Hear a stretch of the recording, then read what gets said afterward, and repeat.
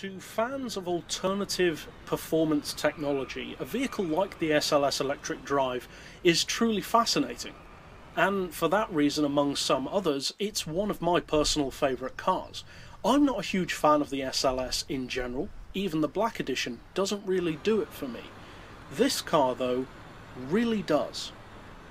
And the reason why is nothing to do with saving the world or being a fashion statement.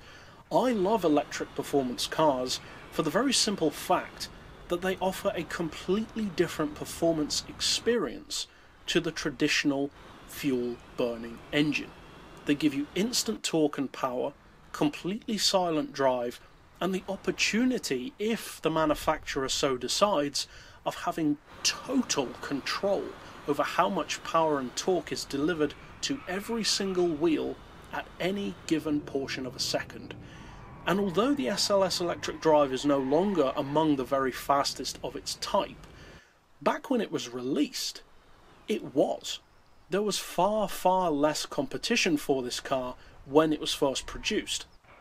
And although many people don't realise it, this car actually was produced. Mercedes built eight SLS electric drives each with a price tag of well over 300 grand.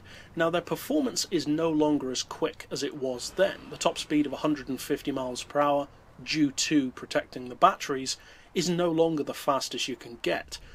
But the performance that it gives you, not to mention the fact that this is the most powerful AMG ever made, somewhat ironically, is still shockingly quick, no pun intended this car can outperform the Black Series over a short drag distance, even though it weighs well over 2 tons.